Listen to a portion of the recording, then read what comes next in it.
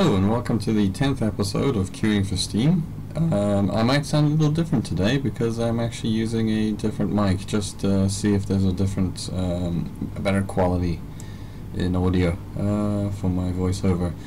But let's, that aside, let's just start the queue then, shall we? Let's see what's coming up. Oh, Valiant Hearts The Great War. I'm not going to read the French title because I'll butcher that quite badly. Valiant Hearts The Great War is a story of four crossed destinies and a broken love in a world torn apart. Dive into the 2D animated comic book adventure, mixing exploration, action, and puzzles. Lost in the middle of the trenches, players, each of four strangers, relive the war and help a young German find the rest of the description for this game. I don't know. Yeah, well, it, it, basically said it's a 2D comic book adventure. You can see that. Yeah, overwhelmingly positive, 96% of 6,800 reviews. Uh, I've seen this played out, and I've actually watched a full playthrough of it, and it, it is it it's really is a quite a nice, char charming, yeah, comic book style game. It's basically a sort of puzzle platformer in a way. Everything's on a 2D plane, you walk along and scroll, side-scrolling and then you have to solve puzzles and stuff like that. And it's, it's yeah, it's got this really nice um, aesthetic to it and it's you know, it, it's a really interesting, nice story and it, it, it, it's partially also a um, what do you call it? A, a, bit of an educational game. It teaches. Uh, there's all kinds of things about about World War One and amazing facts, facts and stuff. Um, it's it's rather informative, if if uh, nothing else. And yeah, the only downside is it's connected with UPlay, Ubisoft's actual own front end version of Steam, essentially. And it's not really that great having to run another launcher on top of this one. Um, but I would wholeheartedly recommend it. It's at normally fifteen dollars. It's currently on sale. I it it doesn't really have a lot of replayability though, other than I guess going back through it to get any collectibles you missed. Um, though if you just explore or actually are aware of the surroundings, you can actually pick them up rather easily it, has the version no replayability, but it's it's it's a really nice, charming uh, playthrough. Uh, I especially would recommend it on sale if you've already watched someone do a playthrough of it, as I have pretty much. Um, yeah, I I do recommend it. It's it's really uh, eye-opening and it's rather amazing story and a gameplay narrative. Yeah. All right. Next. F1 2014. Feel the power of turbocharged Formula 1 cars and the most successful Formula 1 video game yet. Features all cars, drivers and circuits of the 2014 FIA Formula 1 World Championship. Mostly positive, 75% of 600 reviews. I am not a very, I've said this before in a previous episode, I do don't like racing simulators. Arcade races, yeah, sure, but racing simulators, no, thank you. It's it's so annoying to not be able to take a turn at high speed and you spin out, slam into a wall, and you wreck for the entire race. That's that's bullshit, in my opinion. Um, there's some negative reviews. All right. Uh,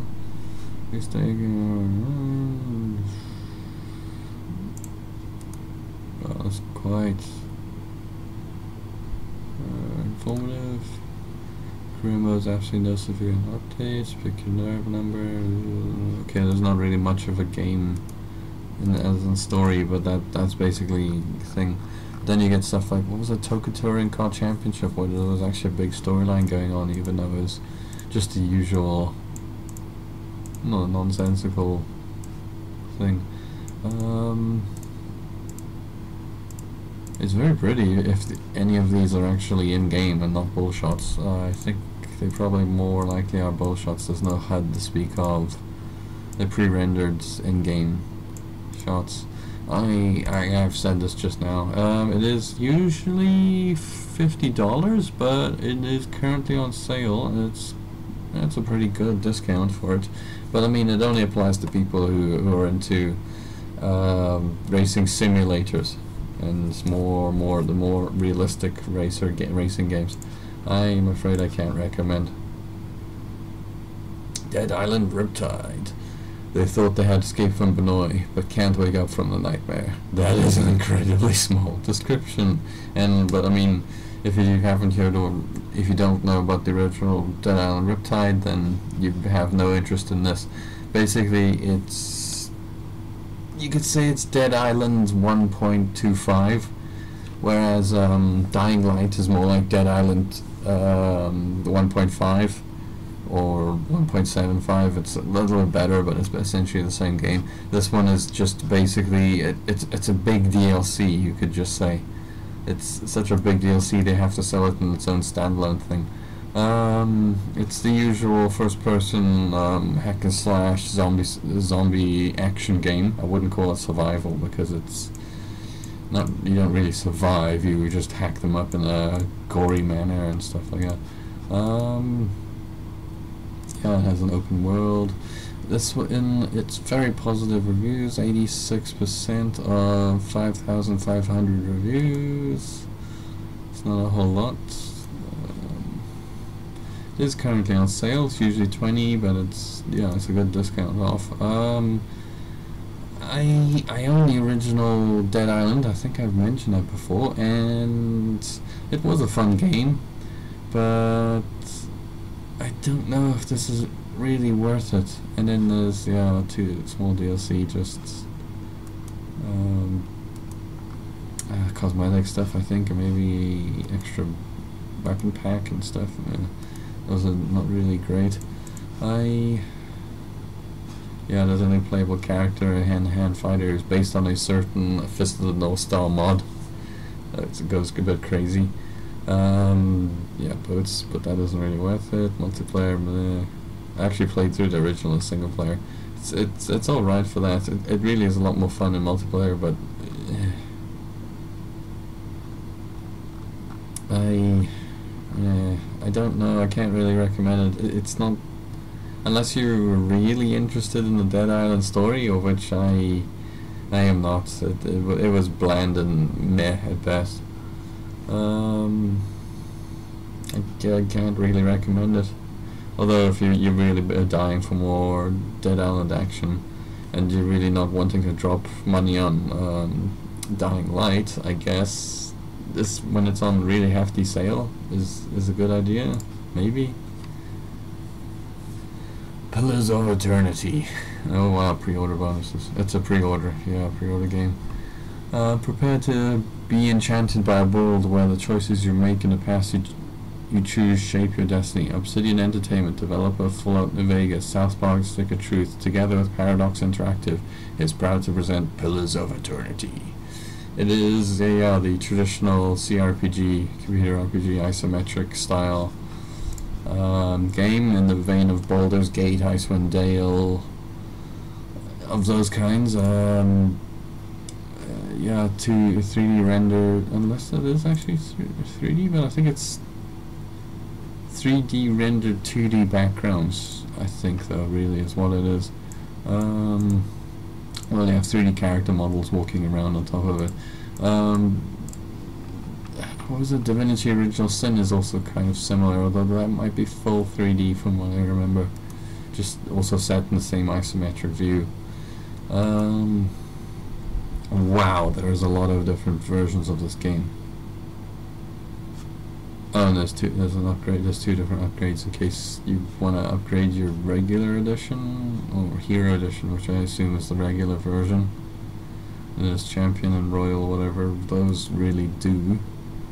Um, yeah, like I said, pre-order bonuses. All right, so the base version giant miniature space piglet. Alright. Golan's Pledge. Um, yeah, I guess those are the two pre-order bonuses for the Heroes Edition. Championship, you get the uh, soundtrack, a digital campaign almanac, uh, high-res game map, making of documentary, wallpapers and ringtones, blah blah blah. The Royal Edition gets all the stuff from Champion, and including wallpapers, gets ringtones, soundtrack, n- a novella by Chris Avellone, uh, digital collectors PDF, high-res concept art, and a digital strategy guide. That might be alright. But considering the price difference, base version being $45, while the next one being $60, which, yeah, and then the other, and then um, the last one being $90. Ah, so, I guess, no, I, I, I guess those extras are worth it? Uh, I don't know. I... Yeah, I mean, I, I've tried to play CRPGs in, in the past, and they are kind of interesting, but I just... I can never really get into them. Maybe it's because the isometric style. I mean, I, I, tried, and I think I've mentioned this, to play the original Fallout games, and I think that might have been more so due to the clunky uh, UI and lack of um, uh, a lack of was it now no no no not adventure but a lack of just direction really. They it they just dump you into an open world and it's like go forth. And that like is is kind of a bit daunting at first. And I think that's what why why I never got over that hump of just getting into Fallout. Um yeah I I mean it looks nice but there's virtually no actual in-game here. Even though that that is virtually what the game will look like. There's there, there's no HUD and stuff, and it, it, it it's all turn-based. On from what I remember of the old CRPGs. Mm. I mean, it looks good, but I think I will want to wait on it, and I probably and yeah.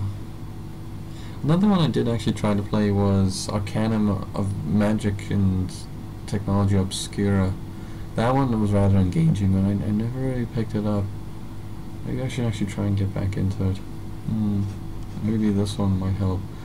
I don't know. I'll just I'll wait till it, it comes out and see how it does. L.A. cops, although La Cops, La Cops, because you haven't put a significant space between your LA and Cops, except for the actual title. Uh, LA Cops is a fast action-packed 3D top-down shooter set to the theme of 70s cops in LA trying to do a tough job in a tough town. Positive with 86% of 44 reviews. Uh, it's only just recently come out. It has an interesting kind of yeah. Oh, it's an is it's isometric gameplay. Um, yeah. Interesting. Yeah, I guess. I uh, I'm not really entirely sure what you can compare this to. I mean, it's got a nice cel-shaded kind of like look to it. It's very yeah, and then the whole overall '70s vibe with the fuzz, mustaches, multiple characters and stuff. oh god, that reminds me of Invasion 76 so bad. Oh, they need more car combat driving games like that. I wish there, were more. Um, yeah, isometric. I guess. Um, there's a prog progression map of a world, I guess, in a way you could call it. Yeah, it, oh, it reminds me of Commandos behind enemy lines, the original versions. I although I don't know whether or not you can actually turn the overall map because looking at it, if this is gameplay, that's yeah. Can you rotate the map? Can you? It looks like you can actually tilt it slightly, unless that's the it's uh, moved. It it does, yeah. It that's yeah a kind of tactical isometric um, police in stealth game in a way. It sounds it looks rather interesting. Um, 86%. It's all right looking or all right sounding from user reviews. It's currently on sale though. It's usually fifteen dollars. That's not that much actually. But how big is the game for that? Hmm. Artificially difficult all around, takes it harder to kill and have better aim at later levels, which is strategy aspect of the game, okay. Hmm, so there's a serious ramp in difficulty. And these normal is extremely easy. Okay, so there's inconsistencies in difficulty. No, I think maybe Cold Hawker doesn't present much of a challenge, Nightmare is extremely difficult. Okay, so there's a vast difference in difficulty settings, yeah. Hmm. Too many good reviews and all the bad ones. No, it's tricked into buying it. Oh, very boring. Okay. It's only nine hours long. Okay, so that's eh, maybe it's alright for fifteen bucks. But yeah, plus let's start skiing. Hot, take a hotline Miami. It looked like it had a interesting goal kind of thing to it. It was an early access. I think I did do remember seeing it pop up before, so it's out of early access, but telling us what's that yeah, funny. Um, yeah, but it's not really Hotline Miami. At least from what I'm guessing. How does the actual gameplay look? Let's see. Excuse me.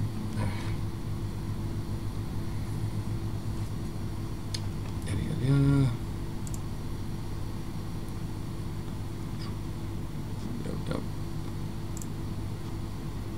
Okay. Alright, so you run around. It's a run and gun then. Yep. Yep, jump, jump ahead, come on. Get to the next gameplay section. Uh-huh. Okay, so it kind of, yeah, maybe it is a bit more run and gun than actually Commandos, which is more tactical. Um, well, it could be interesting, but like I said, yeah, maybe there's inconsistencies. I think, I think maybe I'll wait till it's on a higher sale, well, until it drops below 10. Goes into single figures, yeah, maybe. Uh, try later. Okay, Counter-Strike Condition Zero. With its extensive tour of duty campaign, a near limitless number of skirmish modes, updates and new content for Counter-Strike's award-winning multiplayer gameplay, plus over 12 bonus multi oh, single-player missions, Counter-Strike Condition Zero is a tremendous offering of single and multiplayer something or other, I don't know what the rest of it will say very positive 91% of 3,800 reviews. Uh, yeah, a single player version of Counter Strike, and this is the old version before Source as well. It's the old Half Life 1 engine. Um, it's relatively cheap. I know it actually requires the original Counter Strike as well. Um, though the bundle, the anthology version is cheaper because it's on it's on sale or it's discounted at least. Um, and then Counter Strike Complete, which includes the source as well. But yeah, you don't really need Day of Defeat or Deathmatch Classic and Ricochet. That those are rather yeah. Uh, and then if if you're buying this why would you even bother when it uh, was not uh, globally offensive as that? Um, so, I, I don't know. Pre-release, jeez, that's quite old. Posted? How is it a pre-release when it's... Uh, because, yeah, Condition Zero is ancient, 2004. How can you have a pre-release review in 2014? That doesn't make any sense. Um, I don't know. I've never really tried it. I mean, I've I've, I've played uh, Condition Zero since the first beta. Uh, oh no, no, not Condition Zero, Counter Strike. Excuse me. And uh, I don't know. It, it is very positive, and I guess if you want to walk down memory lane and see what Counter Strike could have been like if it was Rainbow Six in a way. Um, but I, I don't know. It's just such a weird thing to pop up. I don't think this was even developed by Valve or... Oh no, no, it was. But I thought it was outsourced to someone else. Hmm, I don't know. I don't really think so. I mean, possibly... If... If, I, can, I can't really even see why you would buy this. No, I wouldn't recommend it. Realm of the Mad God, which is free to play actually. Team up with dozens of players and battle through the realm of the Mad God, Oryx. With a retro 8-bit style realm. No, realm is a evolution of additional MMO gameplay. Oh, a realm of the Mad God is an evolution. Okay, I don't know why they left out the Mad God part there. Um, 81%, very positive of 13,800 reviews. Uh, I've played a bit of um, uh, Realm of Mad God, and it, it, it's kind of cool for like a, a basic little like open world romp. Uh, like, I mean, it has um, very very basic uh, RPG styling to it. Um, the top down slash isometric view is interesting. Um, in that regard, it's although it's yeah, the massive multi multiplayer where places get crowded with player characters. Oh god. Um, I don't know. It. I mean, it, it's good to, to try, and then there's um, yeah, there, there are DLC and booster packs within it. Um, oh, completely negative reviews have boiled to the top. Why is that? When it's mostly positive, it's very positive. Uh, when it was on Kongregate, yeah, this is a rather old type of game the bullet hell style gameplay, yeah. Uh, free to play model? No Yeah, but I don't get why why you're hating it because there isn't any um, PvP in it. I believe it's only just um, a PVE.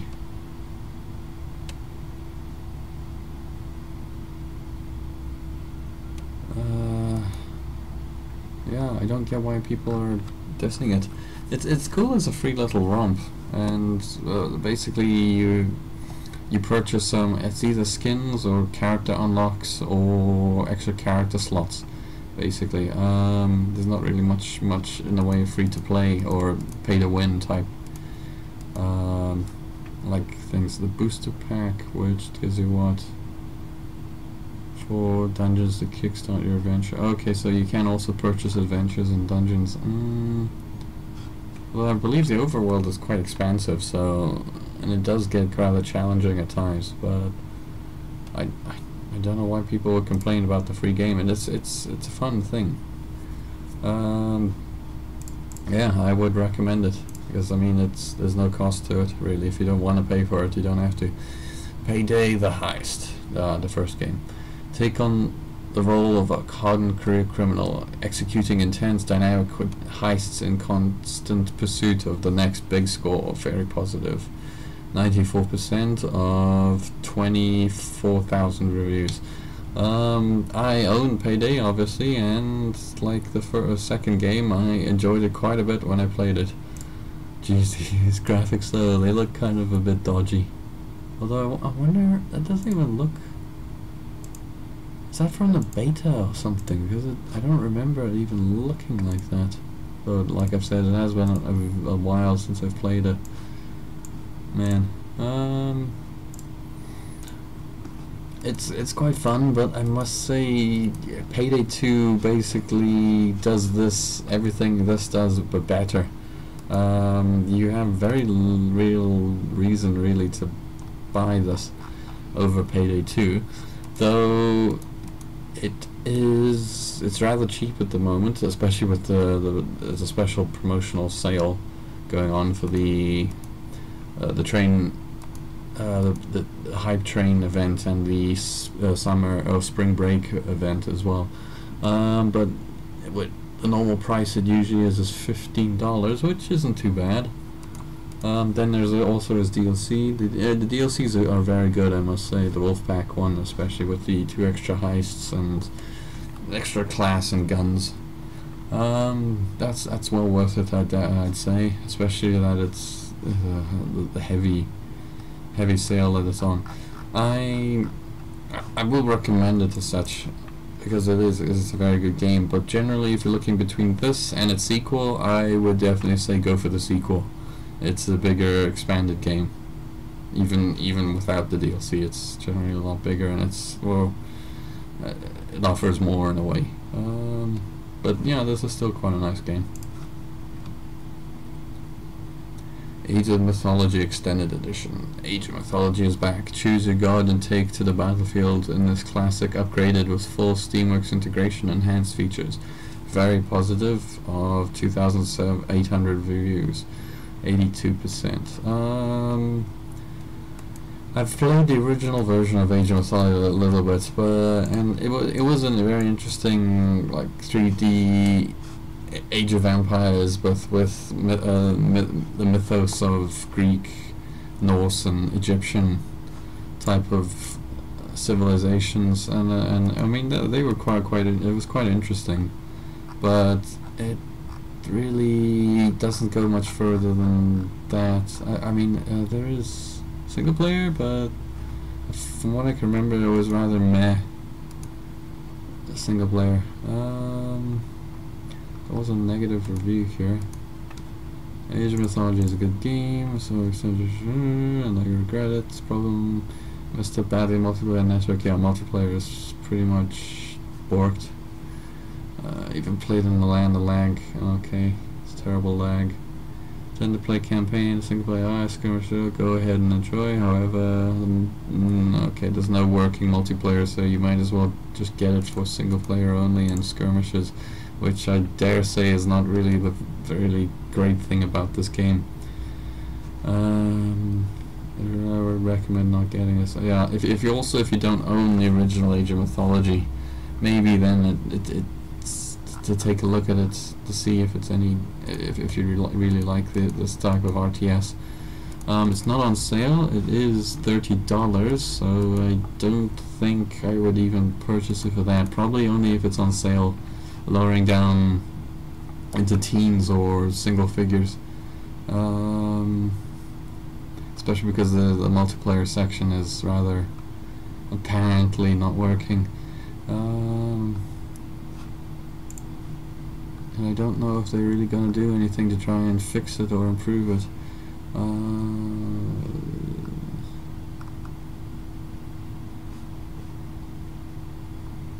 I don't know. Let's see. Let's see. When were those reviews from? October to last year. Okay, and uh, if they hadn't fixed it by then, because it came out in May, I don't think they're ever going to fix the multiplayer. Yep, if it's November, uh, play the multiplayer, which is both the worst I've ever seen. Yeah, okay, if they haven't fixed the multiplayer by now, it's never going to get fixed unless you find like patches online. And I don't think that'll really fix it either because if it goes through Steamworks, it's ge generally going to be just it's just not going to work ever. Um, yeah, I buy it for single player only when it's on heavy discount. That's all I can re recommend of that. Okay, X Rebirth, which is free at the moment. Mostly negative though. Um, in the distant future, the X universe faces a period of profound and irrevocable change. While the universe stumbles towards an uncertain future, countless adventures await as new enemies rise in search of power. 29% ooh, of 4,400 reviews. Ouch. Negative. Um, Well, I mean, this looks nice, but that's all bullshots because where's the actual in-game? Let's see. Gameplay, maybe. Gameplay, gameplay? I, I don't know. Um, X. Now, I don't know much about X because I always get mixed up between the uh, X and XCOM, and uh, there was a two different games apparently. X Rebirth represents uh, X series. What is the X series? Is it? Oh, it's basically just a um, elite uh, kind of thing. You fly a spacecraft around, you trade, go to stations, and fight people and crap. It's in that same kind of uh, category, I'm guessing. Um, no, it isn't free to play. Oh, it's because it's it's a free free weekend, so it's going to disappear quite soon. Um, it is usually forty dollars, but it is on sale for the next couple of hours. Um, I'm not entirely sure, especially when this, the whole community is basically lashing out against it. Um, that's interesting. If it's most negative, why is there positive reviews boiling to the top? Uh, after bug, the features the game feels like similar kind of progress with some rise. Now playable. Okay, so it wasn't playable on launch. Ooh. Um, I've gotten the game breaking bugs, element crashes. Uh, related game version. The good parts. Okay, disappointing. Uh, lack of automation available player X games. Oh, okay, so you have to micromanage everything, even annoying things possibly. Um, earning cash as a whole seems to be backwards in this game. Okay. What would improve it? Better AI, better ship designs, less congested menus. Okay. Trading the auto pricing slider solves this issue.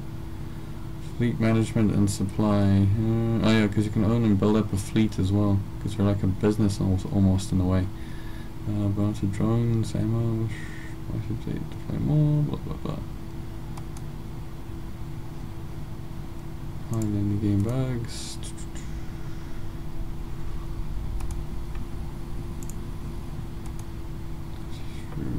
First probably one ship, probably yada yada yada. Um, I'm not too sure. Especially when there's such a negative connotation behind it. And then, um, what is the CE edition? What does that mean? Okay, you don't tell me what, oh, collector's edition. Oh, basically comes with an outpost, a soundtrack, second soundtrack, um, download X Space Opera, like a music video for some reason. Bonus download with artworks and X Encyclopedia. Okay, there's an encyclopedia and an art book. Mm, collector's edition, I'm not too sure. Um, that's the one that comes with this expansion bundle. And then there's the other games, which I don't know if the other games are really any better. I it is getting patched, but yeah, I don't know. I'll have to actually. I'll actually have to hear if someone else has played it and see if they recommend it or not. Mm, probably, I probably will. I'll sit against it because generally that negative reviews or something. ShellShock Live for early access.